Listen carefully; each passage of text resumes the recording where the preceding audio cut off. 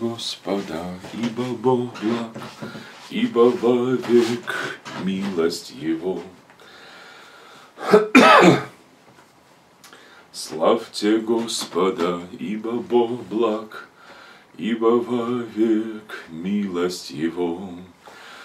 Слава Иисусу Христу, слава навеки Богу Святому, и ни в ком другом нет спасения, дамы и господа, братья и сестры, нет другого имени под небом, данного нам, людям, которым надлежало бы нам спастись, которым спасены мы, которым спасаемся. Иисус Христос предан за грехи наши и воскрес для оправдания нашего. Римлянам 4.25 говорит о том, что Он действительно умер за нас и воскрес, опять-таки, для нас, для нашего оправдания. Слава Богу! Слава Господу! Приветствую всех, кто подключился, подключается. Надеюсь, мои уже подключились уже тоже. Вот, э, доброе утро всем, братьям, сестрам. Доброе святое утро.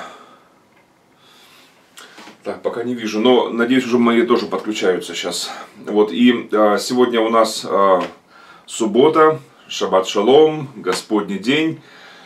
Вот, э, вчера был последний день э, Пасхи, последний день пасхальной недели. Недели опресночной, потому что Пасха еще имеет такое наименование, э, как праздник мацы, да, неделя опресночная. Вот у меня опресники, вот у меня маца. Вот, и это суббота, которая сразу после, получается, завершения праздника Пасхи, наступила, она тоже по традиции, ну, как некое продолжение получается. Тоже у нас она такая вот с мацой. Да, так что сегодня тоже едим опресноки. Вот, еще один день, как бы шменя царит. У нас такой получился пасхальный, да. Вот, а, как бы задержались еще на денечек. Побудьте еще со мной еще денечек, как бы Всевышний говорит нам. Вот, и а, пусть а, Господь благословит сегодня всех вас Братья, сестры, да, а, у нас в семье сегодня а, праздник. Вот, я а, не смогу быть сегодня телом, только духом вот, и душой, вот, молитве. И вот так, в зрительном таком образе Света Деченко, Шалом, Иисус, Господь, дьявол пораженный, мы любим всех. Аллилуйя. А мы любим всех. Аллилуйя. Аминь. Вот, и э, у нас сегодня, э, сегодня 27 апреля, вот, вот, и у нас сегодня э, 28 лет, э, как мы, э, значит, да, в браке. Слава Богу. Аллилуйя. Вот, то что расписались мы в 91 году. Вот, как раз э, перед моим рукоположением, вот, э, перед э, моим служением, в Рязани. Вот. А венчание было у нас в Москве, получается. А распис, расписались в Московской области, в Солнечногорске там. Вот, 28 лет назад. И вот и а, сегодня у нашей семьи, да, такой а, значит, праздник. Аллилуйя. Но уже как приеду, уже поздравлю лично. Вот, на, уже на днях, уже надеюсь, уже получится тоже помолитесь, друзья, потому что на Блаблакар что-то попутных машин что-то и нету. Какие есть, то они бронь э, вроде регистрируют, а тут же ее и потом отменяют. Ну, короче, Бог усмотрит транспорт, э, транспортное средство. Вот, слава Богу. Я обычно путешествую э, вот э, попутно Блаблакар или так вот, или с кем списываюсь, допустим, кто еще попутно есть, христиане. Вот. Ну и по христианской почте тоже передаю информацию. Может, может кто-то, мало ли, может кто-то из знакомых там едет вообще с Украины в Россию, допустим, вот в эти дни, то пусть свяжется со мной. Вот, слава Богу. Вот, и нужно, конечно, свое транспортное средство. Вот, а, здесь э, в Украине, с пропиской в Украине, будем да, говорить, да, с номерами в Украине. И, значит, и в России тоже нужен транспорт, там тоже, да служение, потому что у нас там и там, и там, получается, здесь и там. А, желаю единства Духа в союзе мира. Аминь, аминь. Самое главное, да, в союзе мира. Шаломом. О, спасибо тебе, Господь. Спасибо тебе, Господь, за все. Благодарю тебя, Боже, за это доброе утро. Благоставляю великое имя Твое, Бог Святой. Благослови народ свой миром, своим шаломом.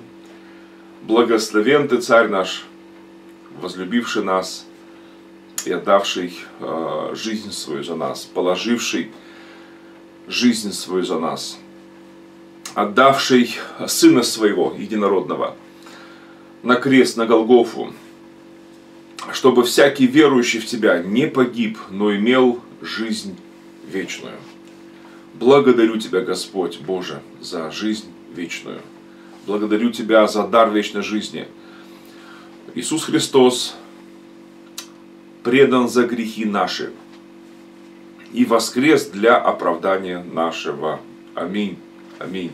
Братья сестры, и вот из этой главы Э, окончание этой главы 4 римлянам, послание к римлянам, 4 глава, э, я читаю э, уже значит, 25 стих, а вот перед тем говорится в этой главе вообще об отце нашем Аврааме, Авраама Вину. Вот, и интересно, что говорится о нем в 18 стихе здесь, что он, Авраам, сверх надежды, поверил с надеждою. Вот это ну, даже трудно очень представить себе. Сверх надежды поверил с надеждою, а, через что сделался отцом многих народов, по сказанному, так многочисленно будет семя твое. И не изнемогши вере, он не помышлял, что тело его, надо же, даже не помышлял, не думал, а, почти столетнего уже омертвела, и утроба Сарина в омертвении. Не поколебался в обетовании Божьим, не, Божьим неверием, но прибыл тверд вере, воздав славу Богу.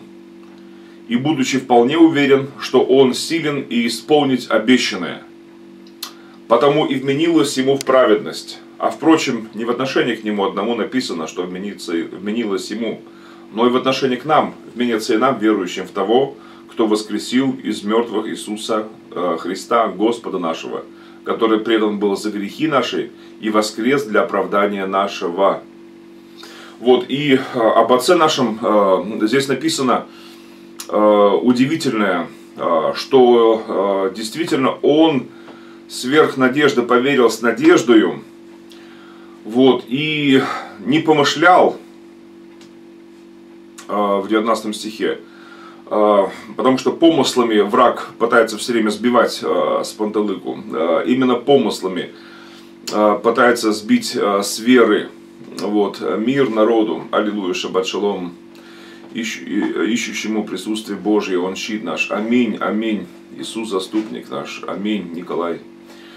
И вот он, Авраам, отец наш, поверил с надеждою сверх всякой надежды, написано в 18 стихе. А в 19 э, вот это не помышлял, потому что я заметил, что как только начинаешь помышлять, все, э, пиши пропало. Я вот, интересно, э, из опыта свидетельствую о чудесах, вот, и молюсь, люблю молиться за исцеление людей – очень люблю исцелять людей. Это, это очень, ну, порой это очень весело и вообще это, ну, порой это очень страшно бывает, всякое бывает. Но э, это очень прекрасное вообще переживание. Вот, Господь говорил, исцеляйте людей, исцеляйте. Вот, э, и э, прокаженных очищайте, мертвых воскрешайте, совершайте все это, деяние Духа Святаго. Вот, и удивительно, когда начинаешь молиться, я заметил, как только вот мысли такие сразу начинаешь думать, а как это может быть, а вообще, а реально ли это, и как это может сейчас произойти вообще. Вот это исцеление. А как только помыслы такие идут уже, э, все, ну пиши пропало. Я вот сколько раз вот помню, э, хотя Бог иногда совершает все равно э, чудеса, э, ну даже помимо нашей веры всякой. Раиса пишет, да, э, шаббат шалом, шаббат шалом Раиса, шаббат шалом. Вот, но а, о чем я говорю, что меньше помышлять, а, как это может быть, что вот а, то же самое воскрешение мертвых. вот из опыта уже несколько случаев было воскрешение из мертвых, а, значит, воскресение, когда ну, молился за людей, они воскрешались. Вот. И по опыту уже, оно, я обычно свидетельствую о хороших ну, примерах таких, о положительном опыте. Ну, мало кто из нас а, любит говорить о, ну, об отрицательном опыте. Но он тоже есть, есть и отрицательный опыт. То есть я рассказываю, конечно, и об опытах именно таких, когда молился за воскрешение и мертвые э, воскресали. Но бывали и случаи другие. Бывали, бывали и негативные опыты, когда не только позитивные такие, вот, отрицательные опыты, когда я молился э, и не было воскресения, не было воскрешения. Вот, и э, то же самое, э, за исцеление молюсь. Иногда есть исцеление, а иногда молюсь и нет исцеления. Вот, и и порой это не зависит даже, вот я заметил, а, даже нет а, каких-то переживаний, ощущений. А, вот иногда ничего не чувствуешь особенно, ну как бы просто вот молишься, и люди исцеляются. А порой, значит, вроде ощущения такие, знаете ощущения обманчивые бывают. Вроде такое присутствие Бога такое, все. Вот, и ничего нету. Вот, ничего не происходит. Вот, и удивительно, конечно. Э, поэтому э, вера это больше, чем даже ощущение, намного больше. Конечно, классно, когда одно и другое так вот вместе поспешествует, но бывает и по-другому. Э, то же самое и за воскрешение мертвых. Как, это особенно, потому что исцеление больных это как бы одна как бы статья, да, значит, это как бы одна работа, как бы, да, а воскрешение это фу, здесь уже совсем другой опыт уже, потому что когда э, человек он болен, допустим, да, значит, и ты молишься за его исцеление, то, значит, э, то э, ты все-таки понимаешь, что это как-то более или менее как-то естественно как-то. Вот, хотя, понимаешь, и, и осознаешь, что это сверхъестественная вещь, вот, да, значит, но все равно это как бы более естественно как бы воспринимается. Вот, и всегда можно списать на то, что там, ну, как бы, может, так совпало, или на то, что, допустим, а, может, врачи ошиблись с диагнозом, можно всегда списать на то, что как бы, значит, ну, помогло там, может быть, еще и его лечение, допустим, значит, да, этого человека, вот, или его вера, допустим, помогла ему, да, значит, вот, можно как бы по-разному объяснить еще эти исцеления, поэтому как бы, как бы не так сильно нервная наша система, наша душа как бы реагирует на это, на исцеление больного. Вот, но когда, как говорится, пациент мертв, когда человек мертв, то там уже невозможно на что-то другое списать. Там только надо просто сверх веры верить, сверх надежды надеяться. Вот. Но как только начинаешь помышлять, а как это может быть, а что, все, ну, ничего не получается. Поэтому э, меньше надо думать, э, вот, э, как Авраам наш делал, меньше думать об этих вещах. Вот, и не помышлял. Что тело его, в 19 стихе написано, почти столетнего, уже омертвело, и утроба Сарина в омертвении. Не поколебался в обетовании Божьем неверием, но прибыл тверд верою. И вот в конце 20 стиха такая подсказка есть нам. Один из секретов чудесной жизни, сверхъестественной жизни божественной. Воздав славу Богу написано. Воздав славу Богу. Как только помыслы какие-то начинают идти, воздавай славу Богу. Господь, благодарю Тебя. Авраам, конечно, отец наш, он, э, да, нашего отца вспоминаем, диву даемся. Почти столетний человек.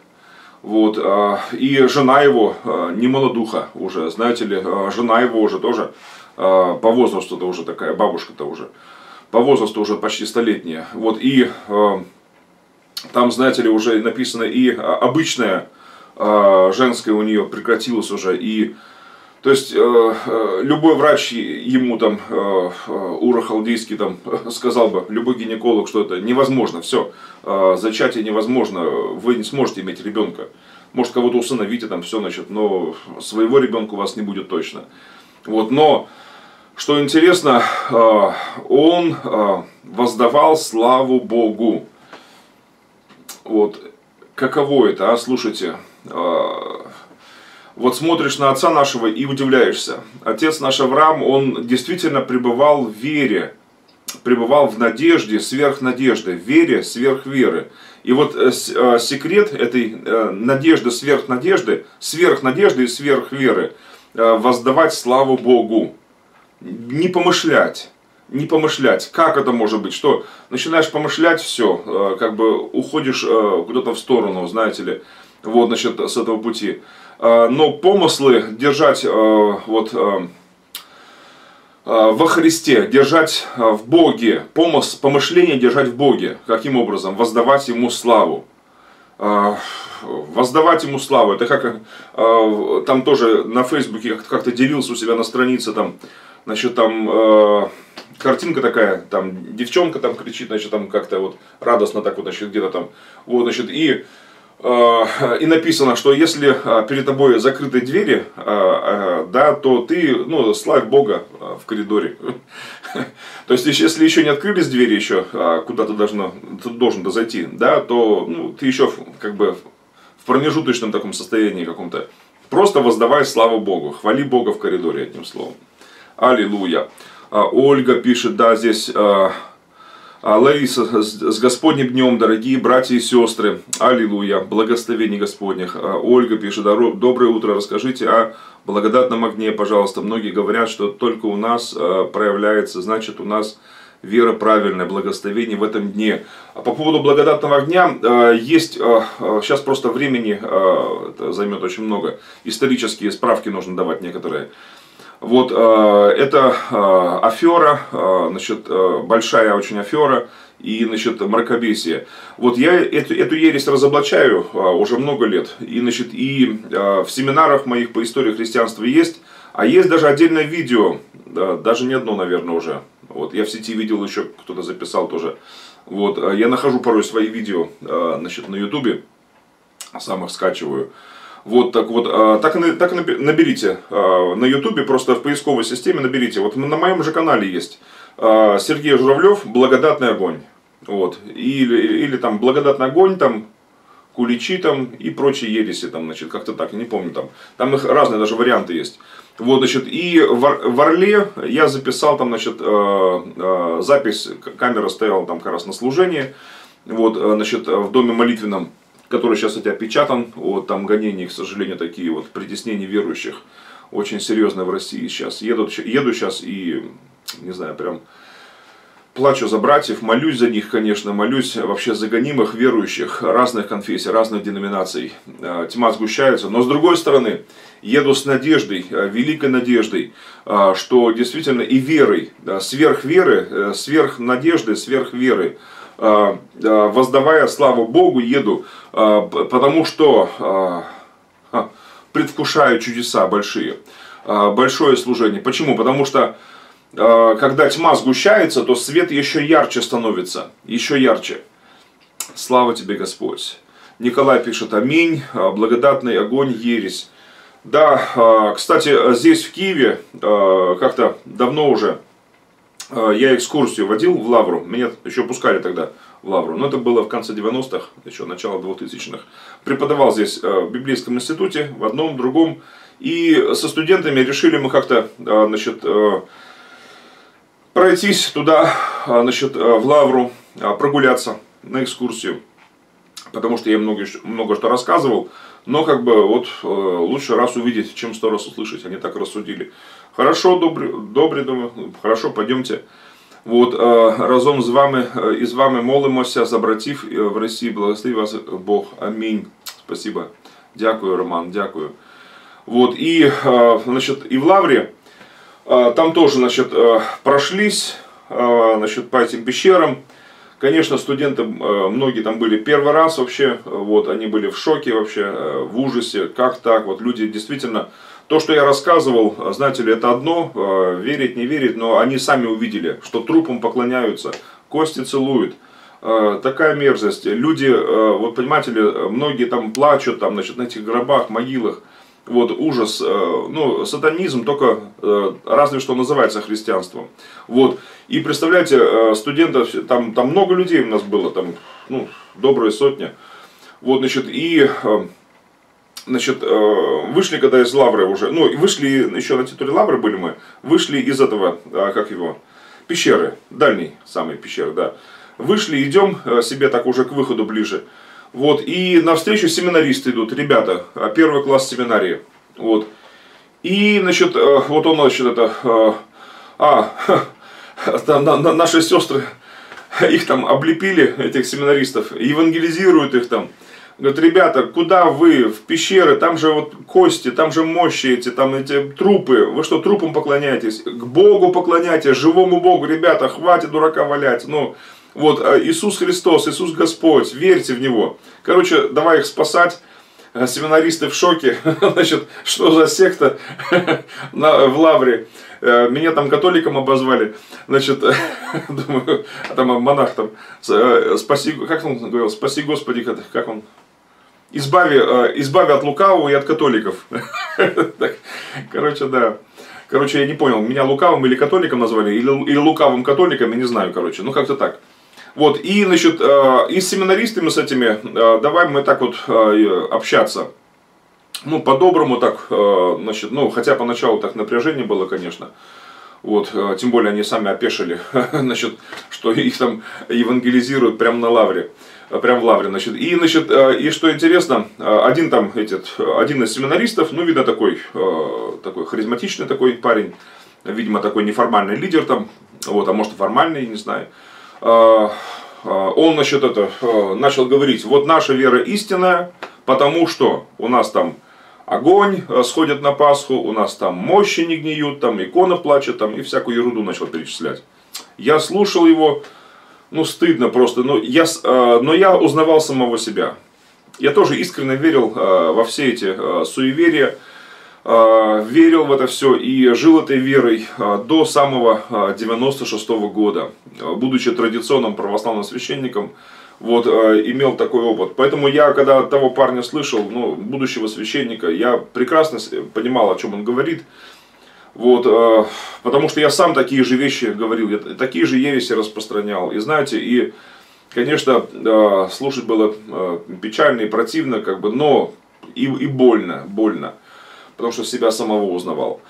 И знаете, вот он, значит, высказал все это, вот, и, а я возьми ему и вот всем там семинаристам, этим будущим священникам православным рассказал, историю. А, у нас просто там среди этих а, учащихся этой протестантской этой школы, института библейского этого, а, там, значит, были некоторые братья, которые были там наркоманами, бандитами, сутенерами, там, душегубами, тунеядцами, алкоголиками. Короче, там, ну, там были такие свидетельства, что, значит, значит, ну, нормального человека просто стошнит. Значит, знаете ли, Бог из такого вообще вытаскивает человеков.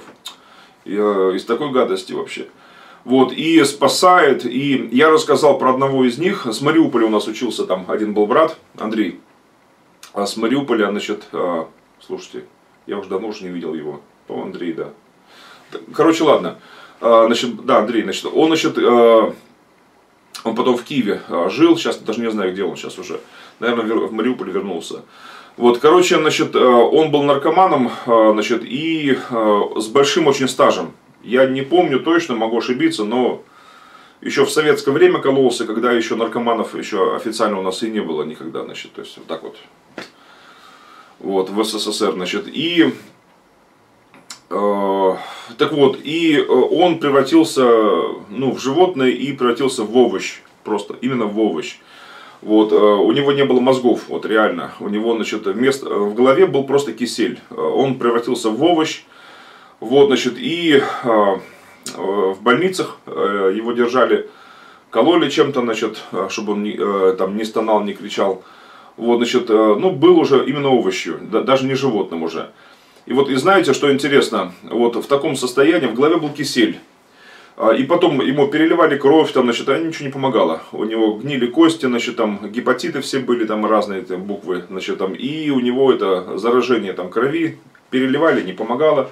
И опять у него пошло, и он стал как э, толстый такой черный негр такой, э, весь распух и черный был уже. Вот так вот его описали. Значит, э, в таком состоянии. Он себя не мог описать, конечно. Вот, значит, и потом что произошло? А, тогда в Мариуполе а, в те годы, в конце 90-х, очень много умирало людей значит, от наркотиков. И вот, и вот эти люди в белых халатах, но с черной совестью, они развозили вот эти умирающие тела по родственникам, чтобы они умирали там, не в больнице, потому что, значит, ну просто в больнице аврал был. Вот, значит, и койко-мест не было уже, значит, и слишком большая смертность, они решили как бы разбрасывать тела по родственникам, чтобы они умирали там. И как бы, потому что и так слишком статистика была печальна. И вот, значит, и, ну, понятно, что большинство родственников не открывало дверей. И вот Андрей также его, родственники не, значит, не открыли дверей даже ему, им, для него. Ну и вот эти вот душегубы в белых халатах, так называемые врачи, говорю, белые халаты, но черная совесть у них, черная душа.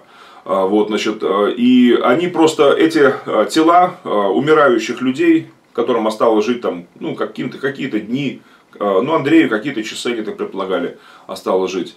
Вот, значит, кому-то, может, недели, кому-то месяцы, ну, одним словом, уже помирающие.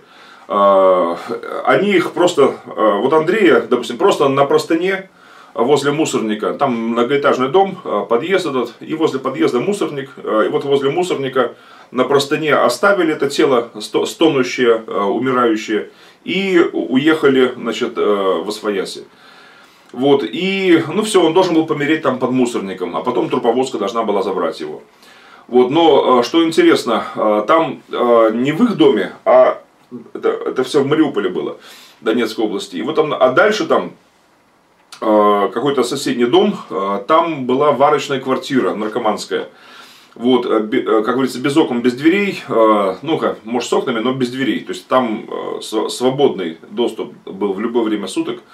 Вот, вот, и люди ходили туда, выходили в любое время абсолютно. Значит, варочная квартира так называемая. Вот, полный беспредел был. Значит, и, но что интересно, значит, там было пробуждение тогда как раз. И вот эта варочная квартира превратилась в молитвенную комнату, такую молитвенную квартиру. Вот э, там эти э, наркоманы стали каяться, исцеляться массово. Так вот, я был там, я проповедовал у них в церкви, там э, Свет миру и какая-то еще церковь, там в кинотеатре собирались они тогда. Вот, и там, конечно, скажу вам, жив Бог, действительно жив Бог. Вот, и там, значит, кстати, участковый говорил там потом, что а когда была наркоманская квартира, ни одной жалобы не было от соседей вообще. Как только молитвенная комната стала теперь там, вот, значит, все, тут же жалобы посыпались, сектанты, мол, все. То есть, когда наркотики варились, там и э, днем и ночью было все открыто, значит, никто, никто не жаловался. А вот как, как только это, все, сразу пожаловались. Вот, и, значит, и что произошло, значит, этого Андрея, просто молодежь мимо той мусорки шла, значит, э, к своему там наркоманскому бывшему притону, ставшему молитвенной комнатой.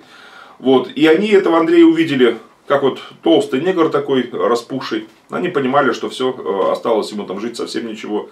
Вот, они взяли прямо на этой же простыне, э, его приволокли к себе на квартиру туда. Вот, и молитва у них там круглосуточно, молитва. Вот как раньше они круглосуточно занимались э, всякой ерундой, а теперь круглосуточно стали молиться там. И вот приволокли туда Андрея, молится, э, вот. Ну, молились, э, потом братья эти мариупольские рассказывали мне, что у них не было говорит, даже веры. Они всякое видели, но здесь уже понимали, что бесполезно, все, уже это уже труп уже фактически, вот без пяти минут.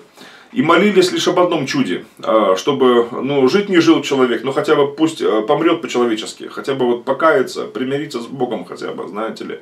Вот а, какие-то проблески разума, чтобы появились у него, у этого растения. Вот, они молились, молились, и Бог совершил чудо. Действительно, проблески разума стали появляться у этого Андрея. Вот, значит, и они ему стали говорить о Христе, «А, прими Иисуса, брат, ты умираешь, вот прими Иисуса, потому что Он взял все твои грехи на себя взял. Тот, короче, ухватился, как и за соломинку, но, слава Богу, это была не соломинка, это был Иисус. Вот, и что-то там даже пытался что-то повторять. Одним словом, это уже чудо было. Для овоща уже э, со стажем, как говорится, да, э, без мозгов, э, лишь с киселем э, в голове, это было уже сверхъестественное чудо. Вот, ну а дальше больше. Вот, там, говорит, уже э, служение у них, там, молитвенное это у них там завершается.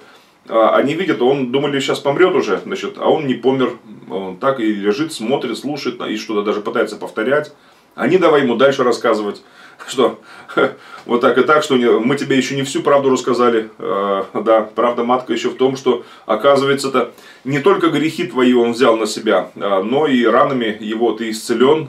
Он взял, Иисус взял на себя твои болезни, немощи, все давай ему популярно рассказывать на пальцах все это, значит, там, и тот, угу, угу, короче, молится, молится за него, вот. Одним словом, через несколько месяцев, я, я могу быть неточным сейчас, но очень короткий срок прошел, там 2-3 месяца. Э, этот Андрей, э, он э, из толстого негра превратился в обычного белого человека, худого, значит, все у него сошло это, его кости были исцелены, его кровь была исцелена, никаких гепатитов не было. Вот. Но самое удивительное, у него был новый головной мозг. Вот это уже никак не могли объяснить врачи. И через несколько месяцев получилось, получилось после того, как его возле мусорки оставили там на простыне умирать, вот, значит, он пришел к тем врачам в больницу за справкой о трудоустройстве по здоровью.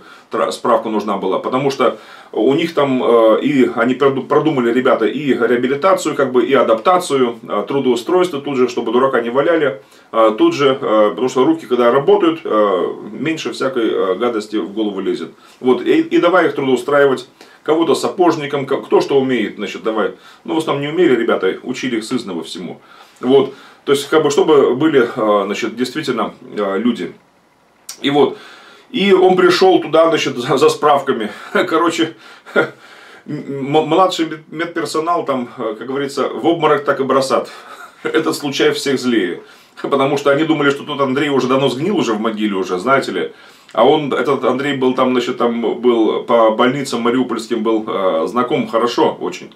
Еще когда он был еще э, человеком, э, наркоманом, потом стал когда животным, а потом когда стал овощью, его уж там все знали.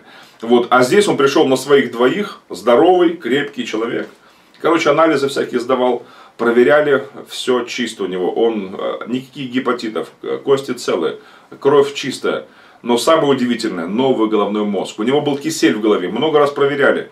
Одним словом, мариупольские, опять-таки, э, белые халаты, но черные сердца. Они не подписали ему никаких документов значит, и отфутболили его в Донецк. В Донецке то же самое. Белые халаты, но черные сердца. Отфутболили его в Днепропетровск. В Днепропетровске то же самое. Белые халаты, черные сердца. Не подписали ничего ему, отфутболили его в Киев. В Киеве уже тоже там руками разводили, знаете ли, вот, вот такие вот горе-медики. И только лишь один нашелся порядочный там человек в Академии наук уже медицины, профессор. И он сказал, э, что Андрей, что пусть надо мной смеются, но я вам, молодой человек, подпишу э, эти документы. Это точно Бог говорит, э, вам нужно точно идти в храм, свечку ставить, потому что это точно Бог, потому что ну, это необъяснимо. Десятки проверок перед тем, что в голове кисель, а здесь мозг без повреждений, здоровый головной мозг. Вот так вот. И подписал ему там документы, что у него там все, что он здоров абсолютно, что насчет него мозг здоров прочее. Вот так вот. И, и Андрей, когда я с ним познакомился, я ж не знал его раньше, его историю, а, он, значит, уже был студентом э, библейского института в Киеве. Вот. И потом, кстати, после института, это уже послесловие, уже э, по скриптум, я, потому что я этого не знал, но там они уже Потом они познакомились, короче, с, он познакомился с одной девушкой в Киеве уже. Настя, по-моему, зовут ее. Короче, а, девушка, значит, бывшая наркоманка, а, тоже прошла и Крым, и Рым, как говорится. Вот, в одних трусах ее там из подвала доставали, значит, вся проколотая была, вот, значит, прогнившая. Вот, Бог ее тоже исцелил от разных заболеваний, там, значит, там, и, вот, э, и знаете, но самое интересное, а, значит, вот, преображенные души, преображенные люди, я потом их видел, на, кстати, здесь вот, на, недалеко, на Левобережной их, последний раз видел-то. Вот, значит, э, здоровые люди, крепкая семья вообще, значит, ну даже не подумаешь никогда, что они были, вот, у них такая история. И у них ребенок. Кстати, ребенок совершенно здоровый. Вообще удивительно, конечно. Это слава тебе, Господь. А, ну вот, я к чему это рассказываю. Э, это все было, э, все это было вспомянуто в Лавре, той самой в ответ тому самому семинаристу, будущему священнику православному, который говорил, что так и так, мол, у нас вера истинная, а у нас, а у нас, а у нас в квартире газ, там, а из нашего окна площадь красная видна там и прочее. Одним словом, всякое религиозное мракобесие распространял. У нас там огонь сходит на Пасху, мол, там в Иерусалиме, у нас там, значит, там мощи, э, покойники не гниют э, там столетиями, у нас там икона плачет, ну и прочие-прочие ереси. Вот э, типичный набор идолопоклонника и многобожника. Но самое интересное, когда я рассказал эту историю, Андрей-то был там, как раз поддакивал, значит, там, и что еще рассказал. А еще мариупольские там присоединились братья, они давай там еще другие ужасники такие рассказывать, вот как Бог спасал. Ну, конечно, с Андреем это был случай уникальный. Вот. И что интересно, а, семинаристы замолчали, семинаристы слушали с таким удивлением, у них-то были такие красивые лица. А, знаете, я удивился, вот э, когда люди соприкасаются с божественным, по-настоящему божественным, они красивые, они, эти молодые ребята были очень красивые. И я сказал этим ребятам, э, когда замолчали уже все, уже, э, уже свидетельства замолчали, и вот такая пауза образовалась, семинаристы просто были в восторге, просто в удивлении, вот в восхищении, и вопросы были на лице у них. И я сказал этим семинаристам, перед тем, как мы расстались, как мы потом уже ушли уже, после того разговора. Я говорил, э, что братья, говорю, братья, слушайте, если бы э, в храме, где я служу, допустим, э, не просто раз в году, а каждое служение сходил бы вот огонь таким образом, каким вы его вот описываете, представляете. И если бы не просто отдельные члены моей церкви после смерти не разлагались бы, а, а в мощи превращались бы, каждый умерший бы а, в церкви у меня прихожанин, и был бы мощами такими. И перед входом в храм была бы целая галерея там, значит, этих мощей, вот, нетронутых разложением тел. Вот я сказал, что а, даже, вот, и под, даже вот если это было бы все, для меня это было бы ничто в сравнении вот с этим одним, но живым чудом. Ну, я указал на Андрея. Говорю, смотрите, библейский почерк э, Бога всемогущего, истинного, какой? Э, жизнь и жизнь с избытком. Библейский почерк, по плодам их узнаете их, написано, интересно. И библейский почерк, вот он чего касается Бог, все это оживает. Это все оживает, это все воскресает, все оживает. Спасибо тебе, Господь, спасибо тебе, Господь.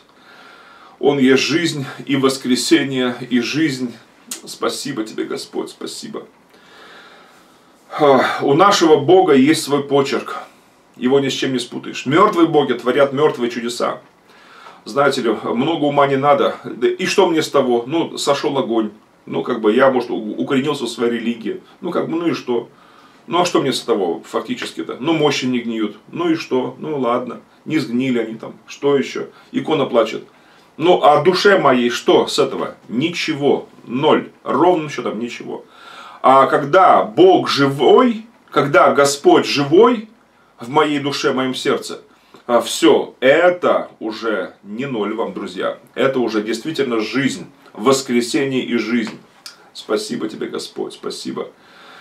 Спасибо тебе, Святой, спасибо. Благодарю тебя, Господь, благодарю. Аллилуйя. Спасибо.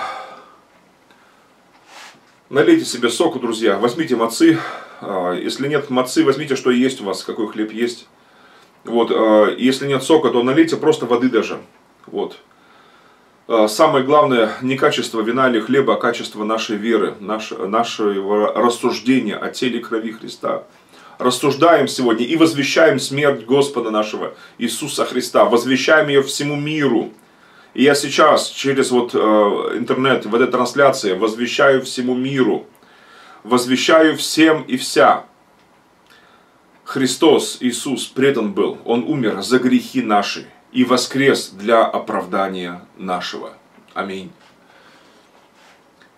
Ранами Иисуса Христа, кровью Его святой, я спасен навеки, навсегда, навсегда, навсегда. Я исцелен я благословлен всеми благословениями небес. Сила воскресения действует во мне, верующим. Спасибо тебе, Господь. Аминь, скажите. Аминь. Слава тебе, Господь. И принимайте э, хлеб, тело Иисуса Христа. Пейте сок или воду, кровь Иисуса Христа. Молясь примерно так – можно так, я обычно молюсь вот такими словами. Благословен Бог наш, Царь всей вселенной, давший нам хлеб из земли И присовокупляю еще э, такие слова обычно, что благодарю Бога, спасибо тебе, Господь, за хлеб наш небесный, хлеб, сошедший с небес, за Иисуса Христа, праведника, Спасителя, Господа моего. И поднимая чашу, я обычно говорю, что благословен Бог наш, Царь Вселенной, давший нам э, плод виноградной лозы, и давший нам великую лозу небесную, Иисуса Христа, о великий виноградарь, слава Тебе. Аминь. Благодарю Тебя, Господь, за это причастие, хлебопреломление. Благослови моих братьев, сестер. Слава Тебе за все. Аллилуйя. За Голгофу, за кровь, я тебя благодарю за воскресенье твое, за победу твою, за жизнь вечную бесконечную, жизнь счастливую, пресчастливую. Благодарю Тебя, Отец, Бог мой, Царь мой, Аллилуйя. Иегова, Бог Авраама, Исаака, Якова, Аллилуйя.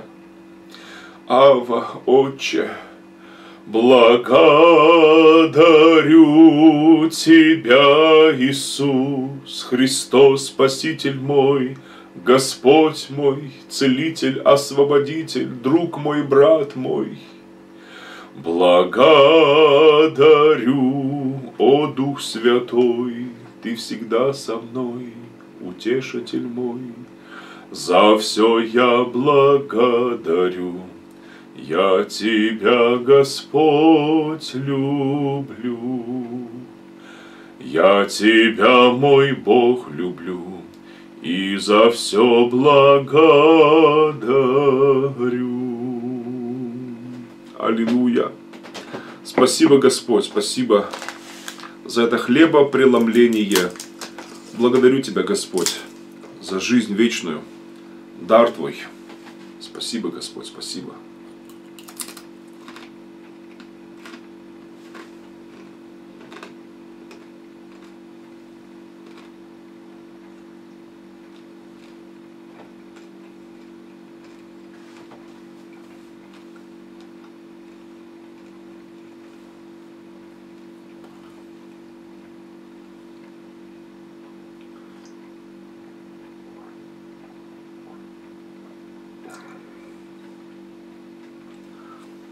Спасибо, Господь, спасибо.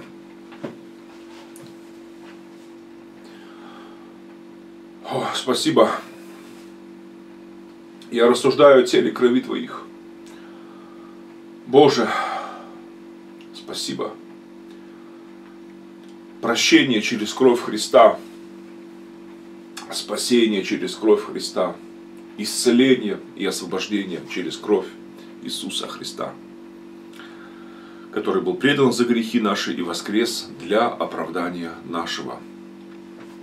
И как и отец наш Авраам, воздаем славу Богу в любой непонятной ситуации. Вот, есть хороший совет поспать, а еще лучше совет, как Авраам поступать. Воздавать славу Богу. Аминь. Да, молитесь э, молитесь за нас в России, очень нуждаемся в этом, Николай пишет. Да, я вот, значит, еду как раз в Россию, вот, и буду, э, три месяца э, буду в России, вот, и буду трудиться в России, поэтому буду рад и у вас послужить Словом Божьим. Я служу и в больших собраниях, и в маленьких собраниях, и в домашних церквях. Чаще всего сейчас в России тружусь в домашних церквях таких, вот, потому что в больших церквях как правило, а, ну, ну, свои сложности есть, одним словом. Вот сейчас слежка, вот, значит, а, и провокаторов много, и, значит, а, арестовывают, часто допрашивают, вот, как бы, и дела заводят, поэтому, то есть, в России сейчас, да, довольно жестко стало, но Поэтому мне сейчас проще мобильный, вот на таких небольших домашних таких общениях проповедовать. Вот, и без всяких объявлений в Духе Святом объявления делаем, одним словом. Слава Богу, что в Украине здесь вот свобода. Рувин пишет, да, молитесь э, и за мой бизнес, да, молюсь. Э, вот вчера как раз прозвучало вопрос, уже прозвучала тема. Есть большое желание продолжить свое финансовое служение Господу. Аллилуйя. Пусть Бог благословит Рувим. Николай пишет еще здесь, молитесь наипаче э, за всех человеков, за царей, за всех начальствующих, наипаче за служителей. Э, да, аминь, аминь. Пробуждение э, упорядывается через них враг и бьет по этому месту церкви. Аминь, да, да. В эфир не будете выходить в Россию. Посмотрим. Посмотрим. Я буду стараться выходить в эфир, находясь в России тоже. Единственное, что там придется немного шифроваться. Сейчас интернет в России тоже сейчас будут закрывать уже вот к осени. Вот, и сейчас уже возникли некоторые там такие... То есть, если я буду, то я буду э, так подпольно выходить, вот, а через кого-то. Вот, э, но информацию буду давать на ютубе. По крайней мере, э, буду давать какие-то такие новости. Вот, молитесь. Э, делать не в трансляциях, конечно, трансляция хорошо, э, но пусть в трансляции Духа Святаго. Интернет э, тоже хорошо, это классная вещь. Э, но, знаете ли, вот э, два тысячелетия мы обходились и без интернета. Вот, поэтому даже когда а, нет возможности вот, а, вот душой, так вот, да, эмоции, эмоции картинкой а, выходить на связь друг с другом, в духе, для Слова Божьего нет уз. В духе мы собираемся на молитву. Вот, и как, допустим, в Китае там многие церкви находятся сейчас, ну, хочешь не хочешь, ну, в дарах Духа Святого нужда большая. Допустим, там братья рассказывали на Дальнем Востоке, я проповедую там тоже, бываю тоже, в этот раз тоже собираюсь тоже быть. И вот на Дальнем Востоке, значит, там э, братья-миссионеры, которые уже, давно, уже много лет в Китае ездят, трудятся в Китае, рассказывают, что есть церкви, конечно, государственные, официальные, мертвые, есть э, церкви такие полуживые, а есть э, просто огненные церкви такие. И вот когда они попадали в такие собрания, именно возрожденных, верующих, горящих любовью к Господу, вот, то там э, у них даже у многих есть практика такая. Вот они, э, собрание раз, э, завершается и расходятся. Вот.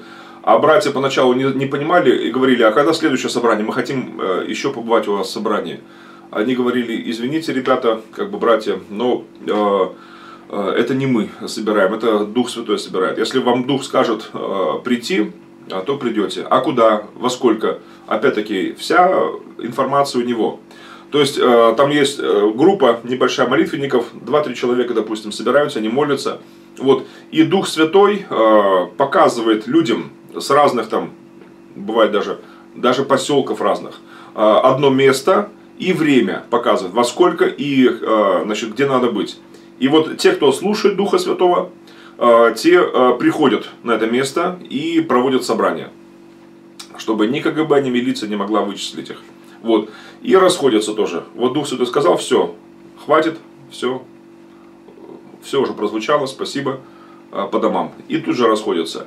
Вот. И там примеры рассказывали братья, что когда значит, проявляли некоторые братья непослушания, служители епископы, допустим, начинают ну как бы давайте еще продолжим служение. Тут же раз милиция, КГБ и забирают всех.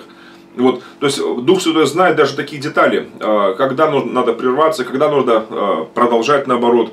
Вот, поэтому для нас это еще опыт, еще в России это еще опыт только начинается. А, было похожее в 60-е годы, 70-е годы.